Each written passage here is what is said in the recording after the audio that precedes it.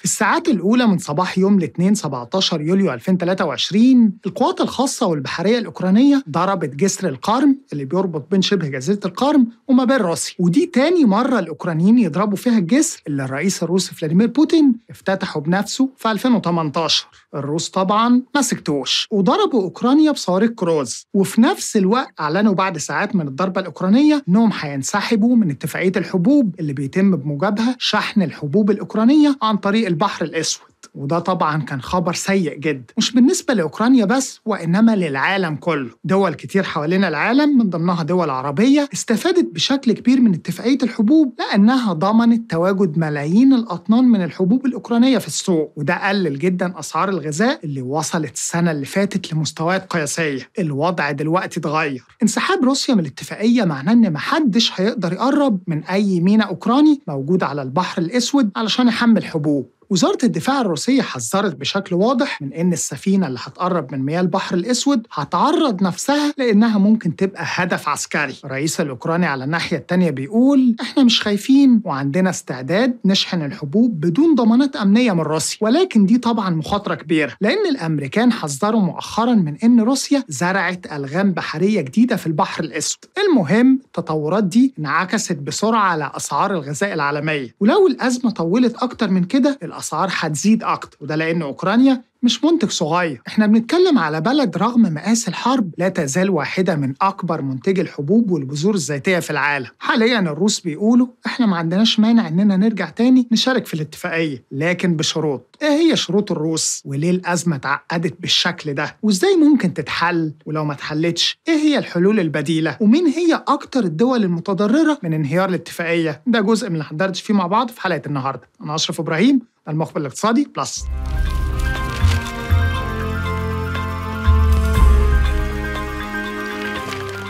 في سنة 1979 الكاتب الأمريكي دان مورجان نشر كتابه الشهير Merchants of Grain أو تجار الحبوب. في الكتاب ده مورجان قال إن الحبوب هي المورد الوحيد في العالم اللي يمكن اعتباره أكثر مركزية من النفط في قيام الحضارة الحديثة العبارة دي لجنة تابعة للكونجرس الأمريكي أعادت التأكيد عليها مرة تانية في 2009 بعد خلفية ارتفاع أسعار القمح في 2008 لمستويات قياسية. من الآخر كده مفيش حضارة ولا حياة على وجه الأرض بدون الحبوب وده شيء أظن كلنا كنا شاهدين عليه واختبرناه بنفسنا السنة اللي فاتت. في أواخر فبراير 2022 القوات الروسية دخلت الأراضي الأوكرانية علشان تبدأ الحرب الروسية الأوكرانية المستمرة لحد النهاردة واللي شقلبت أحوال البلدين والعالم كله من وراه روسيا وأوكرانيا نزلوا ضرب في بعض من البر والبحر والجو وده كان أحد نتائجه المباشرة والفورية هو خروجهم إلى حد كبير من سوق الحبوب العالمي. ودي طبعا كانت كارثة بالنسبة للعالم لأن البلدين كانوا من أكبر منتجي الحبوب والبذور الزيتية على مستوى العالم. على سبيل المثال تلت تجارة القمح في العالم كان مصدرها روسيا وأوكرانيا المهم الكارثة دي كانت واضحة بشكل كبير في مستويات الأسعار الجنونية اللي وصلت لها أسعار الحبوب. في مارس 2022 سعر القمح تجاوز ل 12 دولار للبوشل الواحد وده كان أعلى مستوى ليه في التاريخ. العالم عمره ما شاف السعر ده قبل كده. يكفي إنك تعرف إن قبل الحرب بشهرين وتحديدا في بداية 2022 بوشل القمح كان بيدور في فلك السبعة دولار.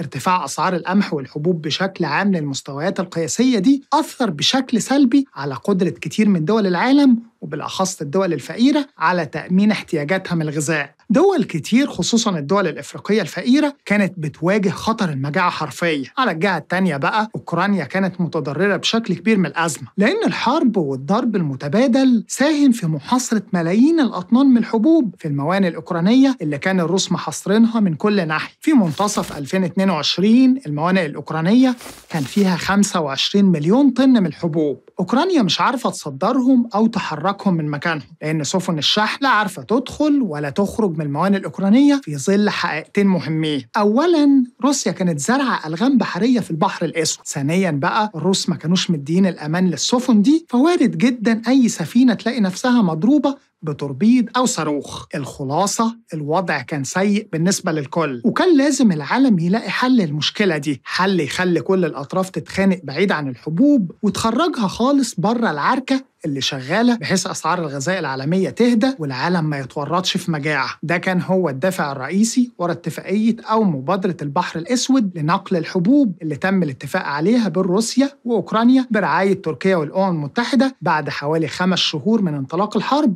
وتحديدا في 22 يوليو 2022 الاتفاقية دي فكرتها بسيطة جدا. قال لك إحنا هنعمل مركز تنسيق مشترك في اسطنبول. المركز ده هيتواجد فيه ممثلين عن روسيا وأوكرانيا وتركيا والأمم المتحدة ومهمته كالتالي. الدول أو الشركات اللي عاوزة تشتري حبوب من أوكرانيا السفن بتاعتها هتعدي الأول على مركز التنسيق المشترك في اسطنبول بحيث تتفتش هناك من ممثلين عن الدول الثلاثة ومعاهم الأمم المتحدة علشان يتأكدوا إن السفن دي فاضية ومش شايلة سلاح مثلا. بعد كده السفن دي هتتحرك من إسطنبول في اتجاه واحد من ثلاث موانئ في أوكرانيا موجودين على البحر الأسود. هم أوديسا وتشورنومورسك ويوجني. السفن دي بعد ما تحمل الحبوب من هناك هترجع تاني تعدي على مركز التنسيق المشترك بحيث تتفتش مرة تانية. وبعدين كل سفينة تنطلق وتروح وجهتها النهائية. طبعا في الرايحة والجاية خصوصا في البحر الأسود الروس كانوا بيرشدوا السفن دي بحيث تتجنب الألغام اللي زارعينها وتتحرك في ممر آمن. المهم بموجب المبادرة دي السفن التجارية بدأت تغادر بحمولتها الموانئ الأوكرانية الثلاثة اعتبارا من 1 أغسطس 2022 على نهاية الشهر خرج من الموانئ الأوكرانية أكثر من 100 سفينة محملين بأكثر من مليون طن من الحبوب والمواد الغذائية والأسمدة. خروج الكميات دي للأسواق العالمية ساهم في انخفاض وتهدئة أسعار الغذاء لمستويات قريبة من مستويات قبل الحرب. الاتفاقية في البداية كانت مدتها 120 يوم يعني أربع شهور تقريبا ينتهوا في نوفمبر من نفس السنة. قبل ما الأربع شهور ينتهوا بأسابيع قليلة الرئيس الروسي فلاديمير بوتين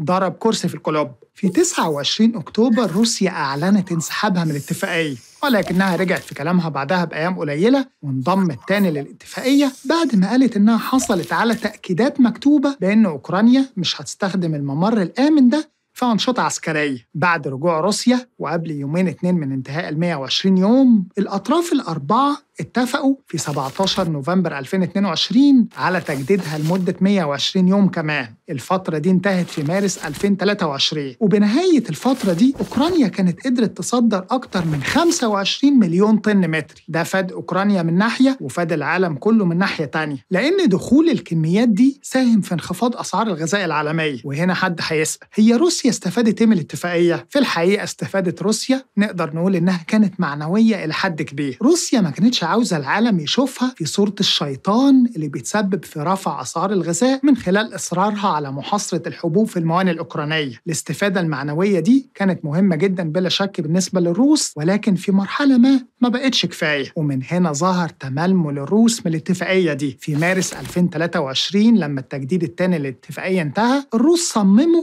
إن التجديد الثالث يبقى 60 يوم بس مش 120 يوم. ده بيخلي الأطراف المشاركة في الاتفاقية تقعد كل شهرين تتحايل على روسيا علشان تجدد التزامها بمبادرة البحر الأسود لنقل الحبوب. المهم ال 60 يوم انتهوا في مايو 2023 الروس جددوا مشاركتهم للمرة الثالثة وبرضه صمموا إن التجديد ما يكونش عمره أكتر من 60 يوم ينتهوا في 19 يوليو. قبل التاريخ ده بيومين أوكرانيا ضربت جسر جزيرة القرم اللي بيربط بين جزيرة القرم وروسيا للمرة الثانية من ساعة بداية الحرب. الضربة تمت في الغالب باستخدام قوارب مسيرة. الروس ردوا من خلال ضرب السواحل الأوكرانية وتحديدا ضربوا اثنين من الموانئ الثلاثة اللي أوكرانيا بتستخدمهم في تصدير الحبوب. ضربوا أوديسا وتشورنومورسك في ميناء تشورنومورسك الضرب الروسي تسبب في تدمير صوامع ومنشآت التخزين وحرق 60 ألف طن من الحبوب. بالتوازي مع الرد العسكري طلع المتحدث باسم الكريملين ديمتري بيسكوف أعلن انسحاب روسيا من اتفاقية الحبوب. وقال قرار الانسحاب ملوش علاقة بالهجوم اللي حصل من كام ساعة. إحنا بننسحب لأن الاتفاقيات المتعلقة بروسيا في المبادرة دي ما تمش الالتزام بيها أو تنفيذها. بعدها بيومين وتحديدا يوم الأربعاء الموافق 19 يوليو اللي هو آخر يوم في عمر التجديد الأخير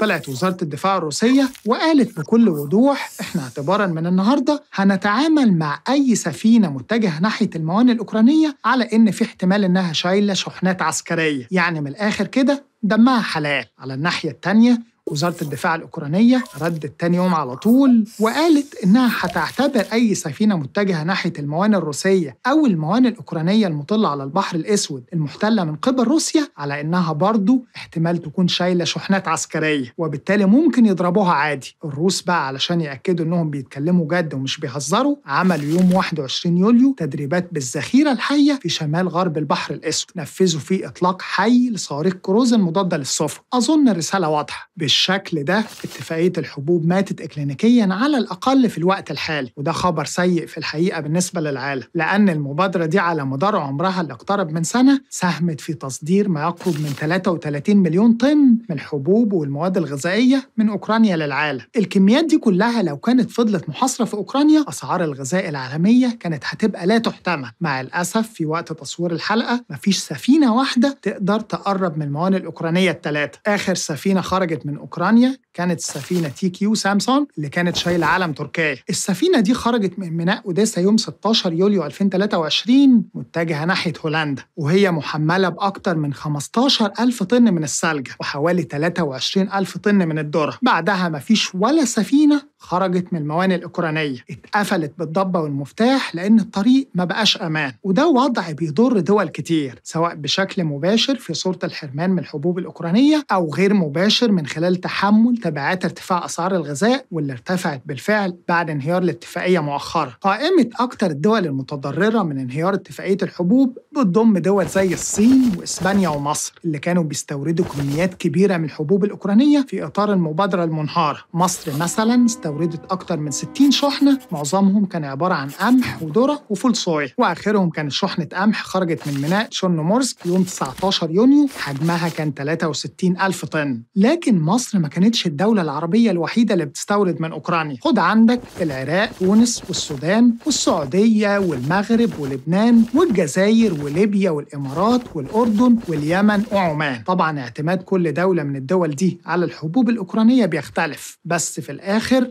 كله متقص لأن حتى لو كان بعض الدول دي بتعتمد بشكل أساسي على موردين غير أوكرانيا فالموردين دول هيبيعوا لهم بالأسعار العالمية الحالية واللي هي زادت بالفعل بسبب الأزمة الحالية. فاللي مش متأثر من الناحية دي هيتأثر من الناحية التانية. يعني مش فارقة قوي أنت بتشتري من أوكرانيا ولا من غيرها. علشان كده استمرار الأزمة دي مش في صالح أي طرف حتى الروس نفسهم وبالتالي من مصلحة الجميع أن يعاد العمل بالاتفاقية دي. روسيا بتقول إنها بشكل مبدئي عندها استعداد إنها ترجع تشترك في اتفاقية الحبوب ولكن بشروط. طب إيه هي الشروط دي بالظبط؟ قال لك خد عندك. أول حاجة عاوزينها هي إعادة ربط البنك الزراعي الروسي روسيلخوز بنك بنظام المدفوعات الدولية سويفت. والمطلب ده بالمناسبة الروس بيزنوا عليه من إبريل اللي فات. المهم تاني مطلب عند الروس هو رفع القيود اللي الدول الغربية فرضاها على أنشطة التأمين البحري وعلى واردات روسيا من قطع غيار الآلات الزراعية. ثالثا قال لك لازم تلغوا العقوبات المفروضة على شركات الأسمدة الروسية وعلى الأفراد المرتبطين بالشركات دي. آخر حاجة بقى علشان ما نكونش طماعين إحنا عاوزين إن خط أنابيب الأمونيا بتاعنا تولياتي أوديسا اللي بيربط بين المصنع التابع لشركة تولياتي أزوت في مدينة تولياتي الروسية وما بين أوديسا الأوكرانية يرجع يشتغل تاني. الخط ده اللي ما يعرفوش منكم هو أكبر خط لنقل الأمونيا في العالم. الخط ده وقف في 24 فبراير 2022 بالتزامن مع بدء غزو روسيا لأوكرانيا ومن ساعتها والروس عاوزينه يرجع يشتغل تاني وبيلحوا على كل الأطراف المشاركة في اتفاقية الحبوب إنهم يضمنوا تشغيل الخط ده تاني. أوكرانيا بقى علشان تخلي الروس يفقدوا الأمل في الخط ده قاموا ضربوه في يونيو اللي فات في مدينة خاركيف الأوكرانية. بس التخريب اللي حصل في الخط ده ممكن يتصلح خلال ثلاث شهور لو أوكرانيا سمحت لروسيا إنها توصل لمكان التخريب وتصلحه. دي باختصار هي المطالب الرئيسية لروسيا. روسيا شايفة إنها ما استفادتش حاجة من اتفاقية الحبوب وإن تحقيق المطالب دي ليها هو شيء عادل جدا لما تقارنه مع مكاسب أوكرانيا وحلفائها من التزامها بمبادرة الحبوب. السؤال بقى دلوقتي هل أوكرانيا وحلفائها هيستجيبوا للمطالب الروسية؟ بالنسبة لأوكرانيا فالرئيس فلاديمير زلنسكي متبني بشكل أساسي منهج التحدي ومش شايف إن في حاجة أصلا للتفاوض مع روسيا.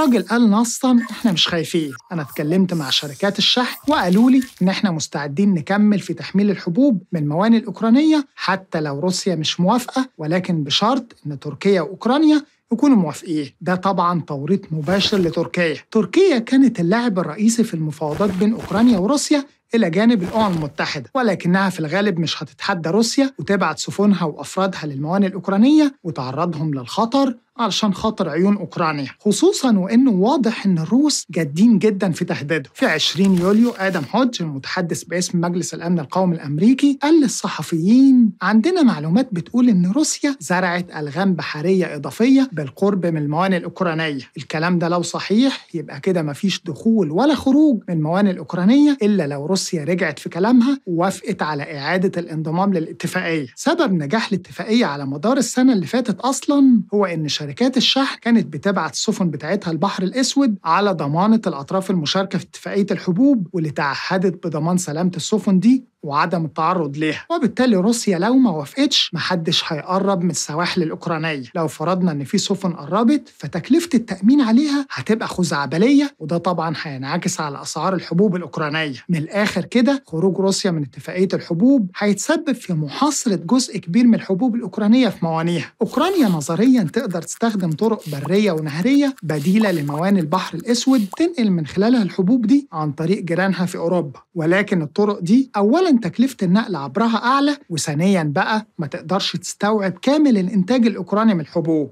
من الآخر كده كل الطرق تؤدي إلى موسكو. بدون رجوع روسيا للاتفاقية مفيش طريقة عملي لخروج جزء كبير من الحبوب الأوكرانية من موانئ أوكرانيا. حلفاء أوكرانيا فاهمين ده علشان كده بيحاولوا يدرسوا حلول وسط ممكن تلحلح موقف روسيا وتشجعها على العودة للاتفاقية. من ضمنها مثلا اقتراح قيد الدراسة حاليا بالسماح لوحدة تابعة للبنك الزراعي الروسي بالوصول لنظام سويفت. الدول الغربية مش عاوزة البنك الروسي نفسه هو اللي يتربط بنظام سويفت لأنها خايفة إن الكريملين يستخدم الربط ده في إنجاز معاملات ملهاش علاقة بالزراعة. علشان كده اقترحوا إن الربط مع سويفت يكون من خلال وحدة تابعة للبنك مش البنك نفسه. هل ده هيكون كافي بالنسبة لروسيا؟ ده اللي هتوضحه الأيام الجاية. أنا كده خلصت كلامي. وكالعادة عندي سؤال لحضراتكم. برأيك مين هو الخاسر الأكبر لحد دلوقتي في الحرب الروسية الأوكرانية اللي بقالها دلوقتي حوالي 17 شهر؟ روسيا ولا أوكرانيا؟ هتابع كل إجاباتكم في التعليقات. في النهاية يا ريت لو عجبتكم الحلقة وحابين تشوفونا تاني اشتركوا في القناة واستنونا في حلقات جديدة بإذن الله.